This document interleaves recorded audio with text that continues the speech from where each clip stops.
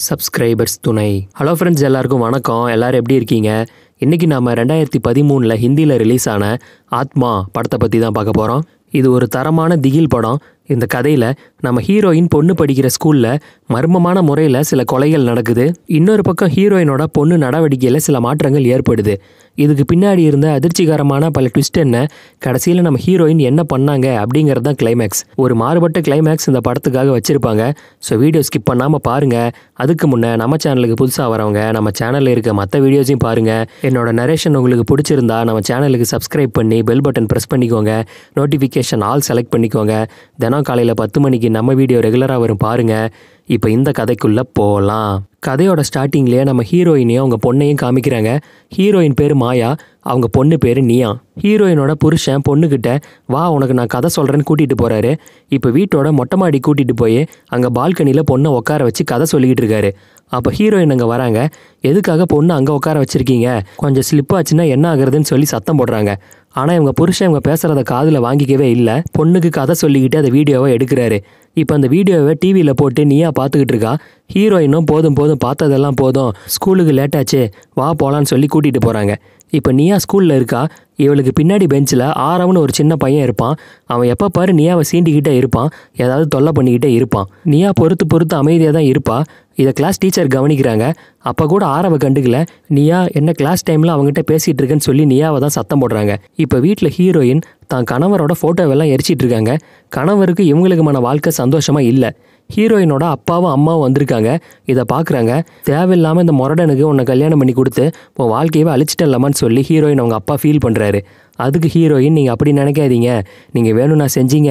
எல்லாம் என் தலையெழுத்துன்னு சொல்லி தைரியம் சொல்கிறாங்க ஆனால் அம்மா அப்பா முன்னாடி என்னதான் தைரியமாக பேசினாலும் பாத்ரூமில் போய் ஹீரோயின் தன்னோட வாழ்க்கை இப்படி ஆயிடுச்சுன்னு நினச்சி கத்தி கதறி அலறாங்க. இப்போ நியா வீட்டில் தாத்தா பாட்டிக்கிட்ட விளையாடிட்டு இருக்கா? மறுநாள் நியாவுக்கு பர்த்டே வரப்போகுது. அதுக்கான ஏற்பாடெல்லாம் செஞ்சுக்கிட்டு இருக்காங்க. நியாவும் அப்பா எங்கன்னு கேட்குறா அதுக்கு ஹீரோயின் இங்கே பாருமா அப்பா வேலை விஷயமா வெளியூர் போயிருக்காரு. வரதுக்கு ஒரு மாதம் ஆகும். அப்பா கதை சொன்னாதான் நீ தூங்குவேன்னு எனக்கு தெரியும். அப்பா ஏற்கனவே கதை சொன்னார் இல்லையா? அந்த வீடியோவெல்லாம் டிவியில் ப்ளே பண்ணுறேன் அதை பார்த்துக்கிட்டே தூங்கு அடம் பண்ணக்கூடாதுன்னு சொல்கிறாங்க நீயாவும் சரின்னு சொல்லிட்டு அதெல்லாம் பார்த்துக்கிட்டு இருக்கா. இப்போ மறுநாள் நீயாவோட பர்த்டேவும் நடக்குது. எல்லாரும் சிறப்பாக செலிப்ரேட் பண்ணுறாங்க அந்த நேரத்தில் ஏரியா இன்ஸ்பெக்டர் ஹீரோயினுக்கு கால் பண்ணுறாரு உங்களை மீட் பண்ணுன்னு சொல்கிறாரு ஹீரோயினும் வர சொல்கிறாங்க வந்த இன்ஸ்பெக்டர் ஹீரோயின் கிட்ட ஆமாம் மேடம் நீங்கள் லவ் மேரேஜ் தானேன்னு கேட்குறாரு ஹீரோயின் ஆமான்னு சொல்கிறாங்க அதுக்கு இவர் காதல்ங்கிறது ரொம்ப அழகானது தான் சில நேரத்தில் அது ஆபத்தானதும் கூட. ஒன்றும் இல்லை சும்மா அவங்கள பார்த்து பேசிட்டு போகலான்னு தான் வந்தேன்னு சொல்கிறாரு வேற எதுவும் பேசாமல் சைலண்ட்டாக போயிடுறாரு. இப்போ மறுபடியும் ஸ்கூலில் காமிக்கிறாங்க.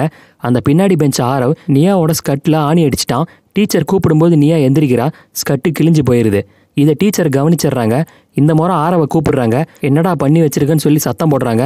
போய் வெளியே முட்டி போட சொல்கிறாங்க ஆரவும் வெளியே முட்டி போட்டுட்டு இருக்கான் அந்த நேரத்தில் ஒரு பால் ஒன்று தானாக குதிச்சிட்டு இருக்கு இதை பார்த்து ஆரவுக்கு சந்தோஷமாயிடுது. அந்த பால் இவன் கைக்கு வருது. இவனும் அதை எடுத்துக்கிட்டு ஏதோ ஒரு சத்தம் கேட்குது அது பின்னாடியே போகிறான் அப்போ சடனாக படிக்கட் கிட்ட யாரோ இவனை தள்ளி விடுற மாதிரி இருக்கு. ஆரவும் படியிலிருந்து கீழே விழுந்து இறந்து போயிடுறான். இப்போ இந்த கேஸை விசாரிக்கிறதுக்காக அதே இன்ஸ்பெக்டர் தான் வந்திருக்காரு.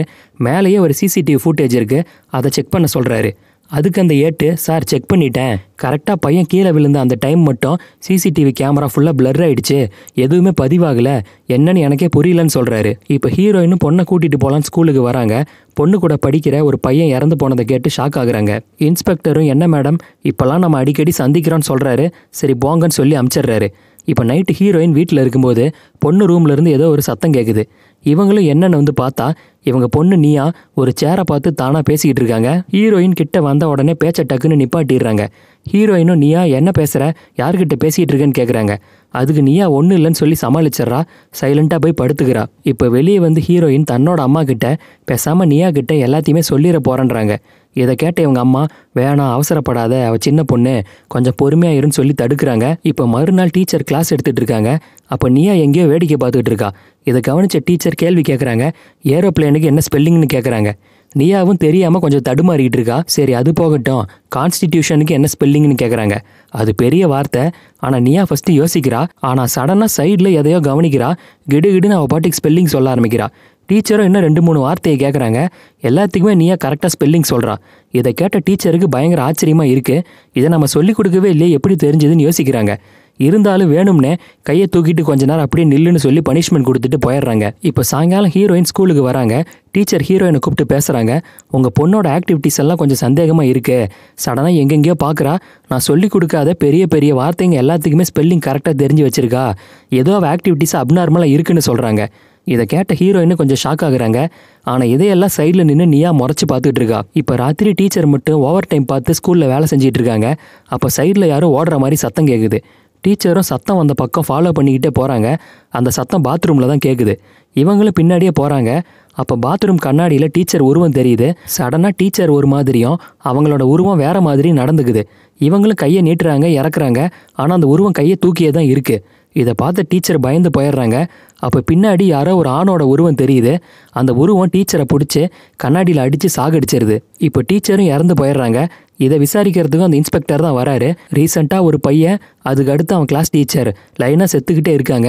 எனக்கு என்னமோ சந்தேகமாக இருக்குது சீக்கிரம் போஸ்ட்மார்ட்டம் பண்ணி ரிப்போர்ட் எல்லாம் எனக்கு கொடுங்கன்னு சொல்கிறாரு இப்போ நம்ம ஹீரோயின் ஒரு சைக்காட்ரிஸ்ட் கிட்ட தான் போயிருக்காங்க. கூடவே பொண்ணையும் கூட்டு போயிருக்காங்க. இப்போ பொண்ணுக்கிட்ட நீ கொஞ்ச நேரம் வெளியே இருமா. அம்மா டாக்டர்கிட்ட பேசுகிறேன்னு சொல்லி நீயாவை வெளியே அமிச்சிடுறாங்க. இப்போ ஹீரோயின் மட்டும் டாக்டர்கிட்ட பேச ஆரம்பிக்கிறாங்க. ஒரு ஃப்ளாஷ்பேக் தான் சொல்கிறாங்க அது என்னன்னு காமிக்கிறாங்க. நம்ம ஹீரோயினை அவங்க ஹஸ்பண்டும் லவ் பண்ணி தான் கல்யாணம் பண்ணியிருப்பாங்க. அந்த பாத்ரூம் கண்ணாடியில் தெரிஞ்ச உருவம். அந்த டீச்சரை அடித்து கொன்னுதே. அதுதான் ஹீரோயின் அவங்க ஹஸ்பண்டு ஹீரோயினுக்கு ஆஃபீஸில் யார் கூடயோ தொடர்பு இருக்குன்னு இவங்க ஹஸ்பண்டுக்கு சந்தேகமாக இருக்கும். இதனால் ஹீரோயினை சடனாக போட்டு பயங்கரமாக அடிக்கிறாரு. ஆனால் பொண்ணு சத்தம் கேட்டு முழிச்சிடக்கூடாதுன்னு பொண்ணுக்கிட்ட பாசமாக நடந்துக்கிறாரு. இவர் என்னதான் பொண்டாட்டி அடித்தாலும் பொண்ணு நியா மேலே ரொம்பவே பாசமாக இருப்பார். இப்போ புருஷன் கொடுமை தாங்காமல் ஹீரோயின் டிவோர்ஸுக்கு அப்ளை பண்ணியிருக்காங்க. ஜட்ஜும் விசாரித்து பார்த்துட்டு பொண்ணுக்கு பதினெட்டு வயசு ஆன அப்புறம் தான் சொந்தமாக முடிவெடுக்க முடியும். அது வரைக்கும் அம்மா கூட தான் இருக்கணும்னு சொல்லி தீர்ப்பு சொல்லிடுறாரு. இதை கேட்ட ஹீரோ பயங்கர டென்ஷன் ஆயிடுறாரு. எனக்கு பொன் குழந்தை தான் வேணும்னு ஆசை ஆசையாக பெற்றுக்கிட்டேன் நீயானா எனக்கு ரொம்ப பிடிக்கும். அவளுக்குமே என்னை ரொம்ப பிடிக்கும். இதை நான் ஒத்துக்க முடியாது. பொண்ணு என் கூட தான் இருக்கணும்னு சொல்லி பிரச்சனை பண்ணுறாரு ஆனால் ஜட்ஜ் இதில் கடுப்பாயிடுறாரு. நான் ஜட்ஜா நீ ஜட்ஜா சொல்கிறத கேளுன்னு ஆர்டர் பண்ணுறாரு ஹீரோவை துரத்தி விட்டுறாரு. இதில் ஹீரோ செம கடுப்பாயிடுறாரு. கோவத்திலே காரை கண்ணா பின்னான்னு ஓட்டிக்கிட்டு இருக்காரு. இப்படி போனதில் கார் ஆக்சிடென்ட் ஆகிடுது. அந்த ஸ்பாட்லேயே ஹீரோ அதாவது ஹீரோயினோட புருஷன் இறந்து போயிடுறாரு.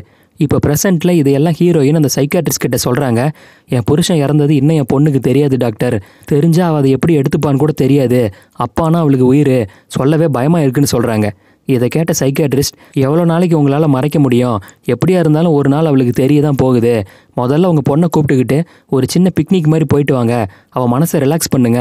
அதுக்கப்புறமா சொல்ல ட்ரை பண்ணுங்கன்னு சொல்கிறாரு இதனால் ஹீரோயினும் தன்னோட பொண்ணு அவள் கூப்பிட்டுக்கிட்டே ஒரு பிக்னிக் போகிறாங்க அப்போ போகிற வழியில் ஒரு ரோட்டு கடையில் சில செயின் எல்லாம் விற்றுக்கிட்டு இருக்கு. ஒரு பாட்டி தான் அந்த கடையை வச்சுருக்காங்க. நியாவும் காரை விட்டு இறங்கி அந்த செயினை எடுக்கிறா. ஆனால் சடனாக நியாவை பார்த்த அந்த பாட்டி அவன் இங்கிருந்து போக மாட்டான். உன் பொண்ணு பின்னாடி கண்டிப்பாக வருவான். இன்னும் பெரிய பெரிய பிரச்சனையெல்லாம் வரும்னு சொல்கிறாங்க இதை கேட்ட ஹீரோயின் பயந்து போயிடுறாங்க. வா நியான்னு சொல்லி பொண்ணை கூப்பிட்டு வந்துடுறாங்க. ஆனாலும் அந்த பாட்டி விட மாட்டுறாங்க அவன் இங்கே தான் இருக்கான். அவங்க கூடவே தான் இருக்கான்னு சொல்கிறாங்க இதை கேட்ட ஹீரோயின் செமையாக பயந்து போயிடுறாங்க. இப்போ நைட்டு நீயா கையில் இந்த டாலரை வச்சிருக்கா. இதை பார்த்த ஹீரோயின் இதை நான் தூக்கி போட சொன்னேன்ல இன்னும் தூக்கி போடலையா? குடுன்னு சொல்லி மிரட்டுறாங்க. ஆனால் நியாவோட நடவடிக்கையில் சின்ன மாற்றம் தெரியுது. ஒரு மாதிரி தலையெல்லாம் விரிச்சு போட்டு நின்றுட்டு இருக்கா. சடனாக அம்மாவை பார்த்து முறைக்கிறா. அப்படியே ஜம்ப் பண்ணி ஹீரோயின் கழுத்தை பிடிச்சி நெரிக்க ஆரம்பிக்கிறா. இதை எதிர்பார்க்காத ஹீரோயினும் பயந்து போயிடுறாங்க. அப்போ தான் சைடில் கண்ணாடியை கவனிக்கிறாங்க. கண்ணாடியில் நியாவோட இடத்துல அவங்க புருஷனோட உருவம் தெரியுது. இதை பார்த்த ஹீரோயின் செமையாக பயந்து போயிடுறாங்க. ஒரு வழியை தப்பிச்சு எந்திரிக்கிறாங்க. ஆனால் அவங்க புருஷன் கண்ணாடியில் ஹீரோயினே பார்த்து சிரிச்சிட்டு இருக்கான்.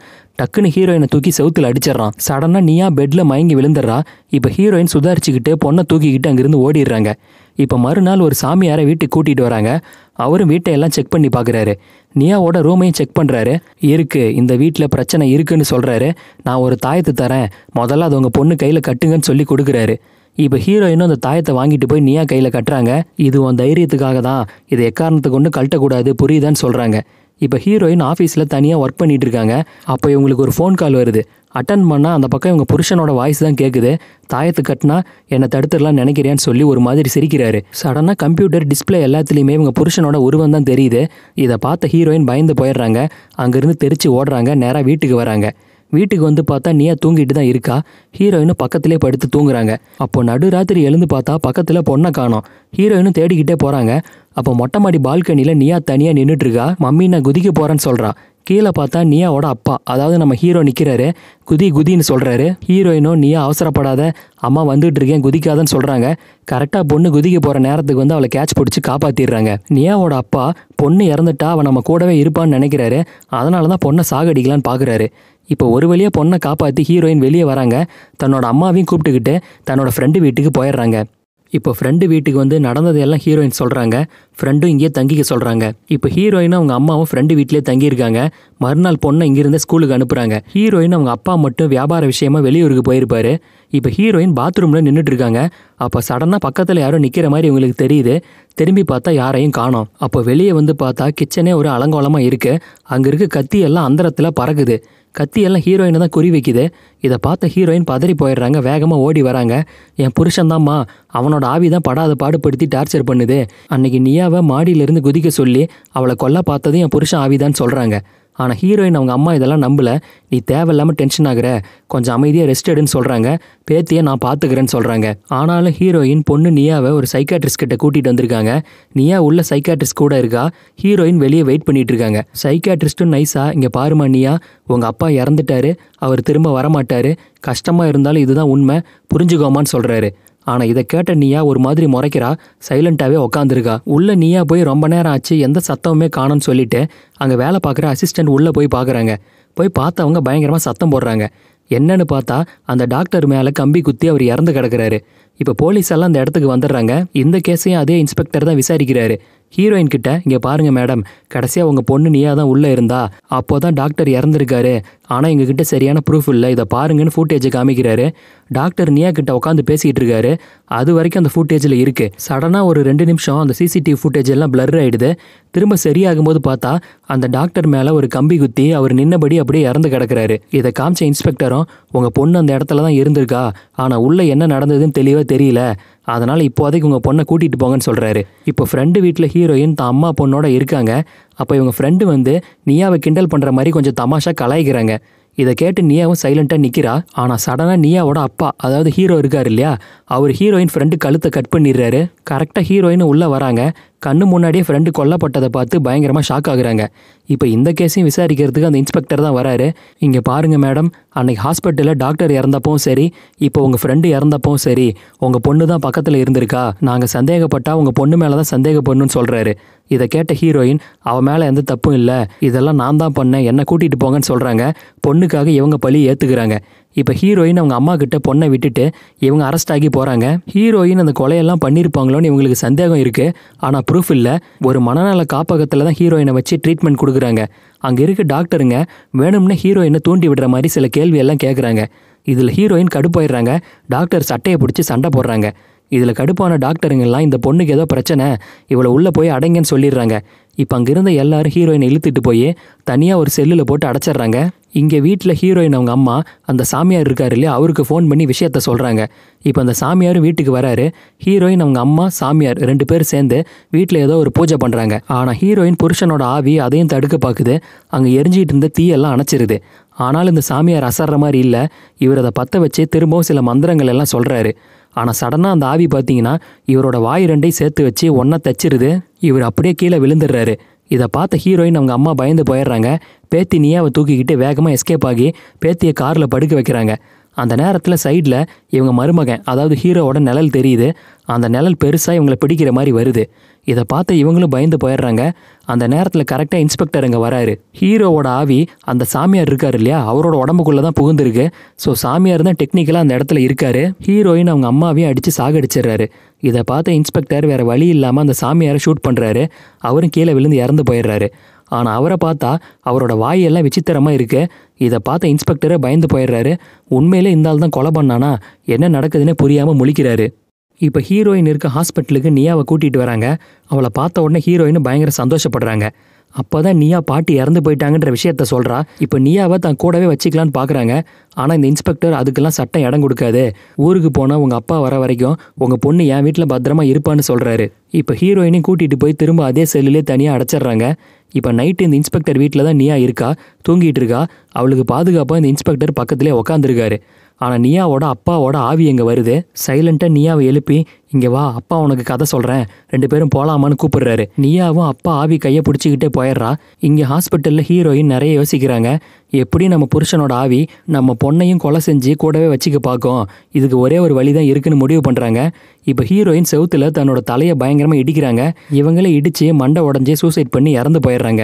இப்போ நியாவோட அப்பா தான் பொண்ணை ஒரு ரயில்வே ட்ராக்கு கூட்டிகிட்டு போகிறாரு உனக்கு நான் கதை சொல்லட்டுமான்னு கேட்குறாரு ஆனால் சடனாக நீயா கதையெல்லாம் இருக்கட்டும்ப்பா எங்கள் மம்மி? நான் மம்மியை பார்க்கணும். பார்க்கணும்னு சொல்லி அடம் பிடிக்கிறா.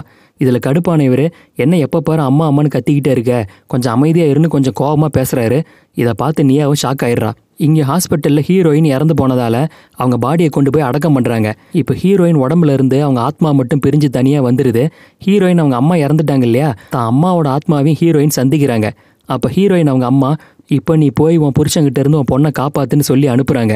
இங்கே நியாவை ஒரு ரயில் மேலே தூக்கி போட்டு கொலை செய்யலான்னு உங்க அப்பா ரெடியாக நிற்கிறாரு அப்போ கரெக்டாக ஹீரோயினோட ஆவி இங்கே வந்து நியாவை காப்பாத்திருது. இதை பார்த்த புருஷனும் நான் என்ன பண்ணாலும் நீ அடங்க மாட்டியான்னு சொல்கிறாரு அப்போ சடனாக ஹீரோயின் ஒரு அடி விடுறாங்க. இவர் போய் பொத்துன்னு விழுந்துடுறாரு. அப்போ தான் இவருக்கு பயங்கர ஷாக்கு இவன் மனுஷன் இல்லை. இவளும் ஆவியாக மாறிட்டான்றது இவருக்கு புரியுது. இப்போ ஹீரோ ஹீரோயின் ரெண்டு பேரோட ஆவிங்களும் பயங்கரமாக சண்டை போட்டுக்குது. ஆனால் முதல்ல ஹீரோ தான் அடிக்கிறாரு. இதை பார்த்த நீயா அப்பா அம்மாவை அடிக்காதீங்க. உங்களை எனக்கு பிடிக்கவே இல்லை. ஐ ஹேட் யூ ஹேட் யூன்னு சொல்கிறா ஸோ அப்பா மேலே நீயாவுக்கு வெறுப்பு வந்துடுது இந்த கேப்பை பயன்படுத்தி ஹீரோயின் தன்னோட சக்தியெல்லாம் யூஸ் பண்ணி தான் புருஷனோட நெஞ்சில் வைக்கிறாங்க. அப்படியே அவர் ஒரு மாதிரி ஸ்டன் ஆகி நின்றுறாரு அப்படியே எரிஞ்சு அவரோட ஆத்மாவும் அழிஞ்சு போயிடுது இப்போ ஹீரோயின் நியா கிட்ட இங்கே பாருமா இனி அப்பாவால் உனக்கு எந்த பிரச்சனையும் வராது. அம்மா உன்னை சுற்றி உன் கூடவே தான் இருப்பேன்னு சொல்கிறாங்க இப்போ சில வருஷம் கழிச்சு காமிக்கிறாங்க நியாவுக்கு பதினெட்டு வயசாயிடுச்சு. அவளோட பர்த்டேவை கொண்டாடிட்டு இருக்கா. இப்போ உயிரோடு இருக்க ஒரே ஒரு ஆள் நியாவோட தாத்தா மட்டும்தான். அவரோட பாதுகாப்பில் தான் நியா இருக்கா. இப்போ தாத்தாவுக்கு கேக் எல்லாம் ஊட்டிட்டு தன்னோட அம்மாவோட ஆத்மா எங்கன்னு சொல்லி நியா தேடி பார்க்குறா அப்போ சைடில் தான் நம்ம ஹீரோயினோட ஆத்மா நிற்கிது தான் பொண்ணு பாதுகாப்புக்காக தான் ஹீரோயின் உயிரையே விட்டாங்க. ஆத்மாவா மாறி தான் பொண்ணுக்காக பாதுகாப்பா கூடவே இருக்காங்கன்ற மாதிரி காமிக்கிறாங்க. இத்தோட படம் முடியுது. இந்த கதை உங்க எல்லாருக்கும் பிடிச்சிருக்குன்னு நம்புறேன். மீண்டும் மற்றொரு கதையோட விளக்கத்தில் உங்க எல்லாரையும் சந்திக்கிறேன். வீடியோ பிடிச்சா லைக் பண்ணுங்க. எப்படி இருந்துச்சுன்னு கமெண்ட் பண்ணுங்க. நம்ம சேனலுக்கு புதுசாக வரவங்க சேனலுக்கு சப்ஸ்கிரைப் பண்ணி பெல் பட்டன் ப்ரெஸ் பண்ணிக்கோங்க. தினம் காலையில் பத்து மணிக்கு நம்ம வீடியோ ரெகுலராக வரும் பாருங்க. எல்லாருக்கும் நன்றி. வணக்கம்.